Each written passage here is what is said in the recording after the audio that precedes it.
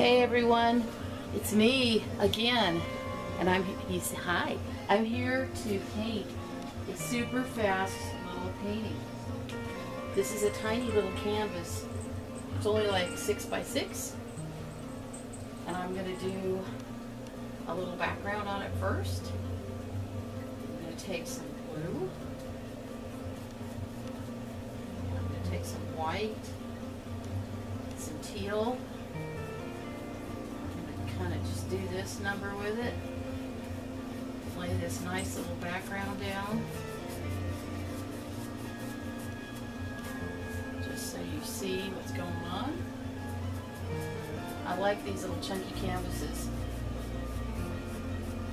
They're fast and easy. They're kind of fun. You can do a series, like if you like to do, uh, let's say if I do a hummingbird on this one. And then I decided to do another hummingbird on another one. They're small enough where you can put them together like a little set. I've done that with crabs, or I've done the male and the female blue crab on one, male on one, blue female on another. And then you end up with a little set.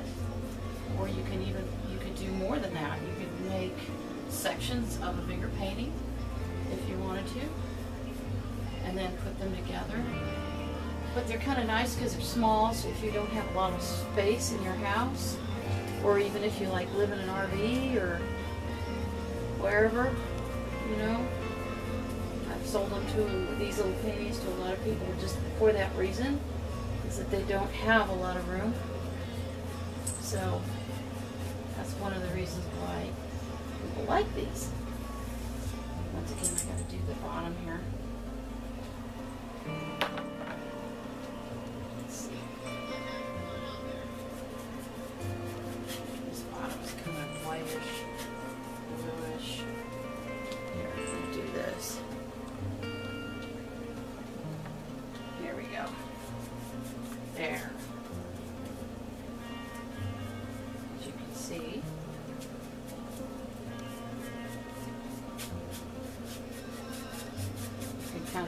Grab these dogs and pick them right up.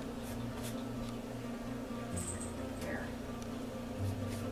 Don't worry about your handprint. And then you can take some white, make one side lighter than the other if you want. If you hear jingle bells in the background, it's my cat. He feels obligated to help me whenever he can. You know cats are such helpful little animals.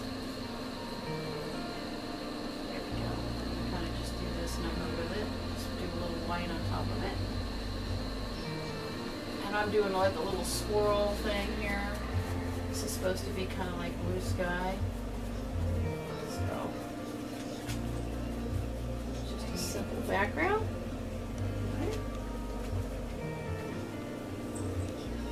I like to make a little darker on one side than the other. So I'm going to take a little, I think this is Phthalo blue. Put it in here. edge. Edge. There we go. It's a little more interesting. I've got a little, I think this is like a half inch flat brush or three quarter inch flat. Like a little baby paintbrush. Regular paintbrush like some you paint your house with. What does it say? One inch. That's what it is. It's a one inch flat.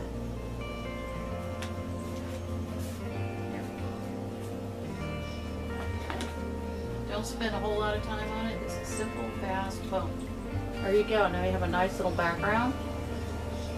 We're going to let it dry, so we're going to take a break. And then when it dries, we'll come back. Alrighty, I'm back. This little canvas has dried enough where I can do the next step, which is we're going to do a hummingbird. It's a little canvas Little canvases work good for little things. They don't get much smaller than a hummingbird. Okay, and uh, what I'm going to do here is uh, a hummingbird on going to do a hummingbird on here, leave me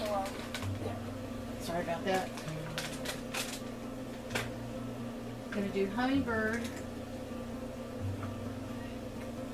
on a bottle brush. If you don't know what a bottle brush plant is, they look like a bottle brush. So we're going to take some green, take some brown, so you get kind of an olive color. A little more green in it. Throw a tad of yellow in there, just to lighten it up enough to look like a.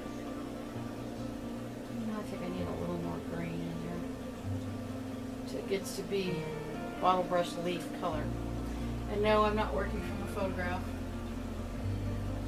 I'm just doing this completely out of my head. Trying to make it fast. So we'll see how it comes out. It could be a total disaster. Never know. Bottle brush have kind of long leaves. Like this. You have it kind of come off like this. Boom, boom, boom. We're going to have like a little piece coming off like this because there's going to be a flower coming out here and then maybe another flower here and then maybe another one down here okay so you quickly lay this out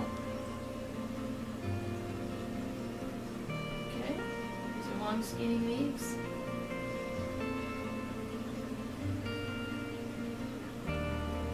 dark enough to stand out on this canvas but not so dark that they fly off the canvas. This is kind of a light spot here. This is where a bird's going to be, is right in here. This is a really fast one. I'm trying to make it as fast as I can. Now we're going to do a flower. Flowers are funky on a, whatchamacallit. They are basically red, kind of a bright red They come out like this and little flowerets like this. So you can take your little brush and just kind of do this. And it's pretty red. You can throw a little brown in there if you want to tone it down a little bit so it's not so crazy bright. And if you want to brighten it up a little more, throw a little yellow in there like this. So you can have different variants of red not just straight out of the tube red. But you want to go with a pretty bright red or to be seen. And you're going to do little brush strokes. And you're going to need to make sure you have enough paint and enough water, that happy mixture where it almost drips but not quite. So that you can do this. And you're going to do a whole bunch of these, kind of doing this number they kind of all come off in different directions like a little brush. Because that's why they're called a bottle brush. See, like the little groups like this, like three, three or so. See? So you're just going to kind of keep doing this until you have a nice little collection of them. Light touch, people. Don't, no heavy hand. You get heavy hand, you're going to get these big brush strokes If you've ever looked at them. And then when you get to the middle, you kind of go up like this. It's kind of hard to do the ones that are, it's easy to do the ones from the sides because they're just going out like, this, right? When you get to the middle, you're going to be like this, and all you're going to see is kind of like this because you're coming out straight towards you. So you're not going to have them as long and you're going to think, oh God, this doesn't look good. But once you get it down there, it all kind of have some that are kind of shorter and they come up in a different direction.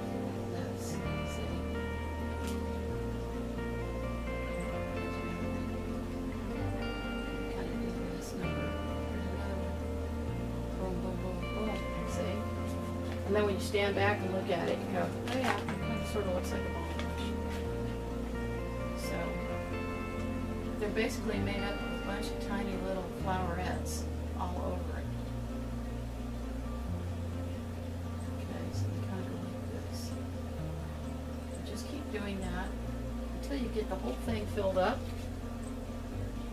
And now now it looks like a bottle brush.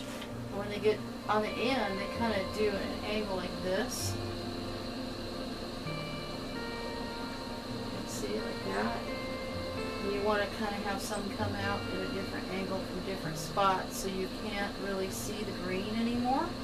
You see it there, but it's not really, it's pretty much covered up by all these little flowers coming off. Let's see, and I have too much water, but that's okay because it'll dry. As long as it doesn't run. If it starts to run, then you just get your magic paper towel out and start doing that number with it. So now we have a bottle brush, see? And then you can take up here, there's another one.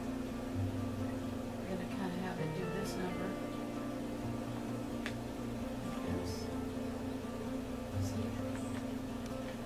This is a little smaller.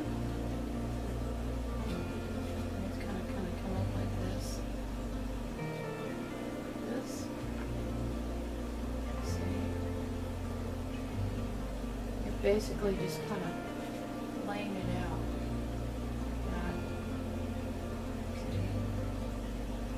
Because they kind of come up and they come in different directions, but all together they kind of look like a little ball of brush. The ones that are facing you once again.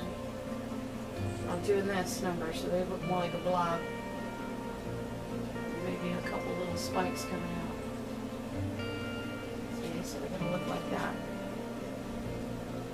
So when you get to the point where you have them come straight out a little bigger down here. Like that. And then the other trick is they have yellow on the ends. So you're going to take some yellow and some white, maybe some of this red you still have on your brush. And you're going to kind of come in and do these little numbers like this, little dots. What those are is the ends, because the pollen is like on the very ends or tips of these little wispy little petals that come out that make up the bottle brush. And they're all over it. I, I recommend if you're not familiar with a bottle brush, go on the web, go on your phone, whatever, and look around at bottle brush. Or even better, if you have one in your yard or you know where there's one, go take a look at it. Yes, they do have little things like this. Okay. If you get too much, don't freak out like I just did right there. Because you can kind of pick it up with your brush and move it. So basically, it's just going to look like little spots like that. Now it's a bottle brush. Now we're going to do the hummingbird. Now let's finish the, the leaves real quick. We're going to go back with the green. If it gets too green, you can tone it down with brown or red. We're going to come, come in here like this. We're going to kind of do this number. Once again, you want enough paint that doesn't, that it covers, and enough water so that it flows easily. But not so much that it runs off the page.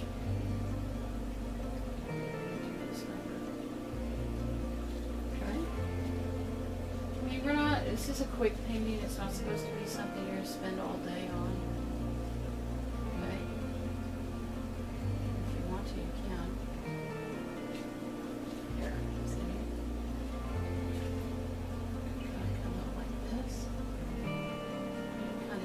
This number, of show that it's in there.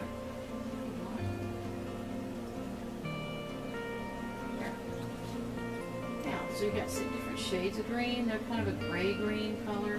Um, you can throw some aqua in there, like this, and all of a sudden now, what? It's a kind of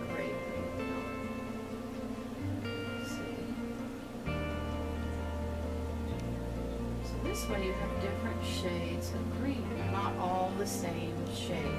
By putting and layering different shades this, it's going to make it look like different layers of leaves, like they really do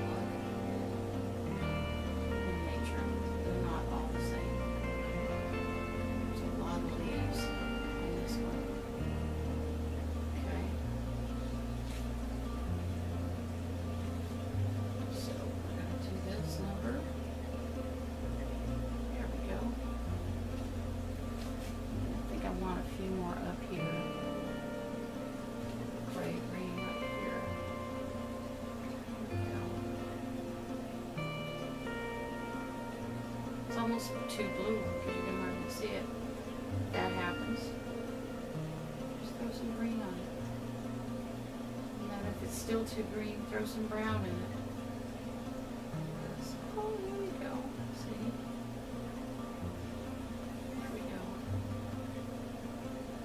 Now we go. Now we're good. See, now we got a nice little bottle brush. A couple little flowers. Now we're gonna do our little hummingbird. Now I've done. I have drawn probably a million hummingbirds. Well, not a million, maybe 358,000. Okay, maybe not that many. Maybe 300? Maybe. I've done lots of hummingbird t-shirt, um, hummingbird. Oh gosh. I, I've, I've looked at a lot of hummingbirds. There are hummingbirds in my yard right now. They're migrating back up. And they come through here. There's a black chin in my, in my yard, and then I've seen some rubies. So we're going to get enough paint on this brush where you want it pretty liquid, but not runny. Once again, don't go crazy, load it up. And don't do the bill first. You're going to do part of the bill.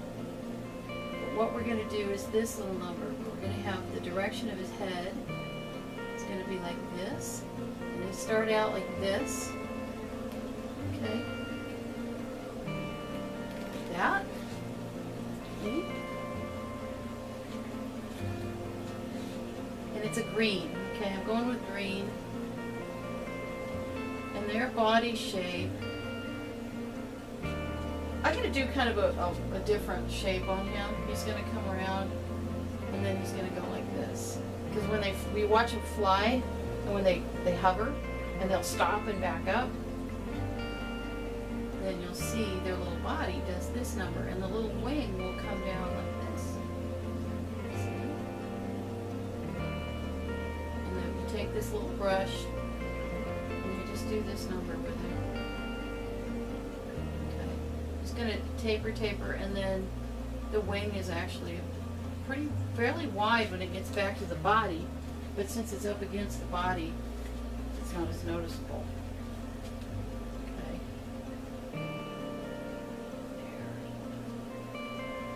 Okay, so, and the back of the, the head in the back is gonna be darker than the belly. The belly is actually really kind of whitish, tannish. And then that's the tail. They kind of like this. Tail kind of comes out in a little bit of a fan. He's stopping, and then you have this part of the wing. It's doing this number, see? Like that. And so now composition wise, it's not so boring because you see the flower, you see the bird, you see the flower. It's doing this, right? It's not a really intricate painting. There's the color that comes down like this, and then you have the other wing that's going to be coming up like this. And it's going to be slightly smaller. So it comes back in here. Okay.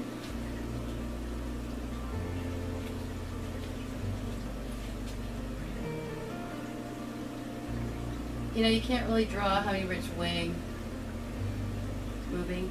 I've seen people do it where they just do a blur. And I mean, that's kind of neat effect. You can do that because that's what you see when you're watching because they're moving so fast. But I like to do them kind of frozen in a spot, frozen in time, like this. Okay? Take some more green and put it on his back. Okay, there's a little trick I'm going to do. and I've done this before. I have a paint that has some metallic green metallic paint. It sparkles. Okay, and so we're gonna mix a little of that sparkle stuff in his back right here, and on the tops of his wings. If you've ever watched one, which I'm sure you have, if you live in the New World, you'll see how they sparkle. And if you know anything about hummingbirds, they only live in the New World. That's North America, Central and South America. If you're from, if you ever see a European hummingbird, okay, it's fake, it's a lie, somebody's yanking your chain. Okay. Boom. So now, oh, so you can't really see it, but when that dries, that will sparkle a little bit like a real hummingbird. It's kind of a little trick I do just to make it a little more interesting. I have this lime green. I'm going to throw some in here. Just for grins. Kind of break it up. But you can use white and yellow to make the same color. Okay, now their bellies are kind of a buff tannish color. And that's pretty much all of the ones that we see here. There are different, there's lots of different hummingbirds. Central America has zillions in South America, oh my gosh. So we're gonna take this kind of buff color. You're gonna start from underneath the chin. And you're gonna come down over here like this. And you're saying, well, I wanted to make one with a red. I am. I am. Don't freak out. But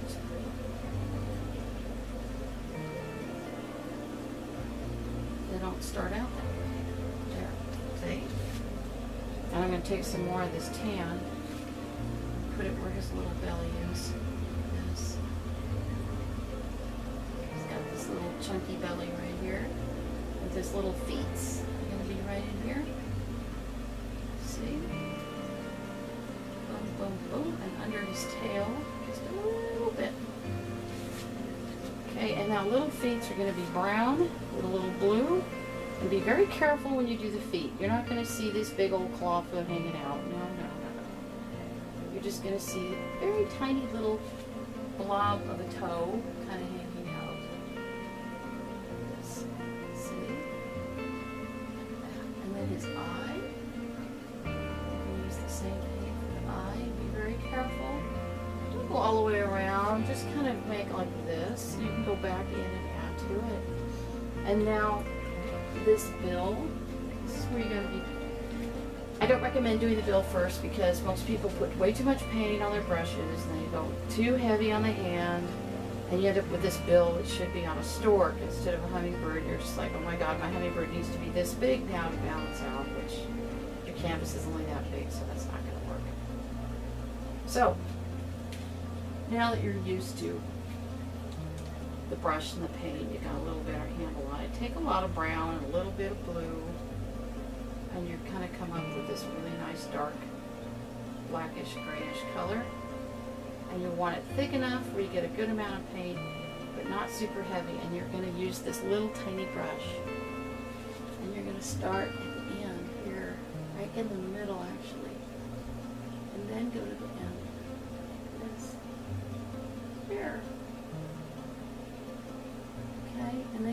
black that kind of goes around their head. Here, right around their eye and up to their eye. It's a ruby. Let's see. And then they have this little spot behind their eye, and it kind of comes down like this. Tail. So tail is like these dark feathers. Kind of do this, and then we're going to take some of that tan that we like so much. If you don't have tan, just take white and um,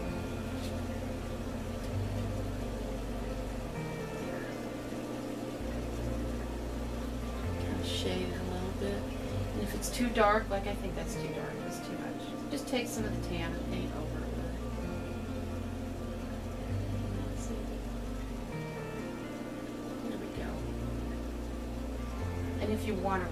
have something stand out a little more, just take some white right here on the tips of his little feet, and then maybe uh, just the tail feathers right here. And then maybe just a little on these feathers here.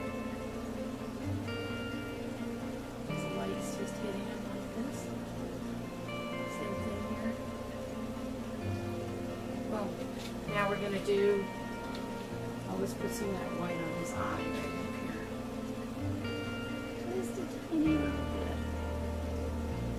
There. Now, don't freak out if you get too much white, get a big blob, and he looks like he's dead, and his eyes are all glazed over. That's quite all right. You can go over it with black, or I mean not black, the brown blue mixture when you're done. So we're now going to do his fabulous red little ruby throat. So you take some nice bright red do it in little dabs because that's how their little tiny feathers are. See, you just kind of dab it. This. And just do little dabs. And it kind of comes around like this. Because you want it pretty bright, because they are really bright. If the light hits them just right. And on the edges you want it to be, you want see like that. Now you can go in and tone it down here in a minute, because it seems too bright. It looks like it's flat. So that lovely little brown mixture you had with your red, you mix with it. So you get kind of a, you can put a little blue in it so it's almost purple. Just kind of dab it in here like this.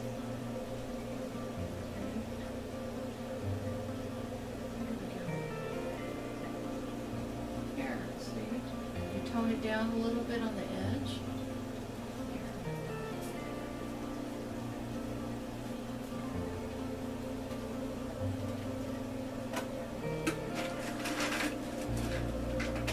Okay, now we're gonna work on finishing this little bird.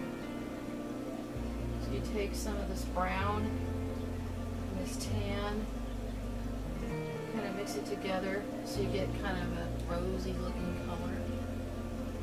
Some down here, kind of a brownish color. And around his feathers down here. Just shade him a little bit, don't get carried away. And then we're gonna take some um, red, maybe some white. So we have kind of a pinkish color. And we're going to kind of do some of that on this bottle brush. What that does is it gives it a little bit of dimension, a little bit highlight. Some more red. There. Bright red. There. Because the red that we did earlier was pretty dark. So we're going to brighten it up a little bit to kind of compensate for the red in his throat. So he stands out but not like flying off the page. Okay?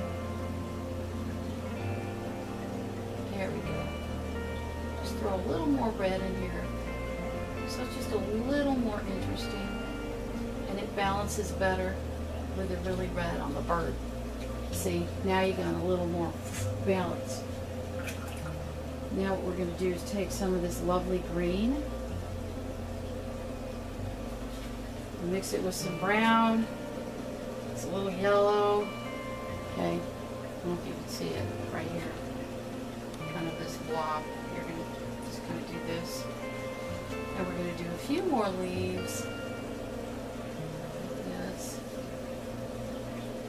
okay, just once again to kind of balance it out like this. See? There we go. You kind of twirl your brush as you do it if you want. You get kind of some neat effects by doing that. Uh, make sure you have enough paint on your brush when you do it or it work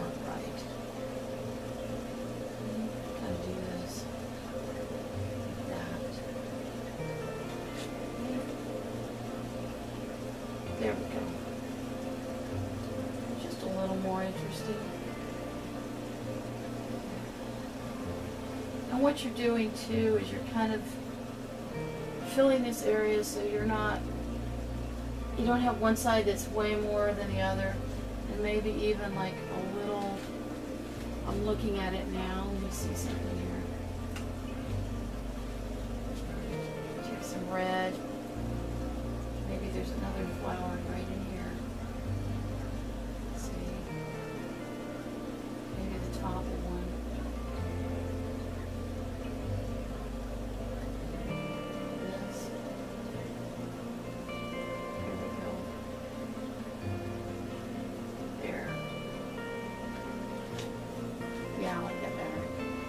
Little more balanced. I guess it's about done. So, there's your quick little painting. Even little paintings have to have some kind of composition to them. I'm going to add just one more little touch to his eyeball up there. Because to me it has a little too much white. So I'm going to take this lovely blue and brown.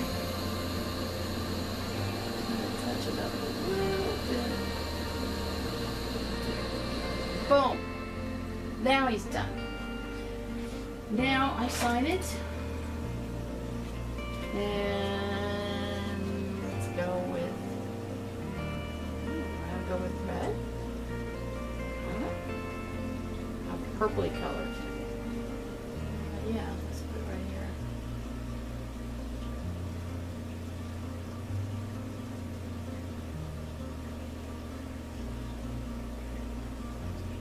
You don't have to sign it if you don't want to. If you do, sign it however you want. Hopefully I didn't make you fall asleep. Of course, that's the kiss. That's what you wanted, is to fall asleep. Boom! There we go. It's a little tiny ruby throat on a bottle brush. Sykes, I don't know what this is, 6 by 6 7 by 7 It's a little chunky canvas.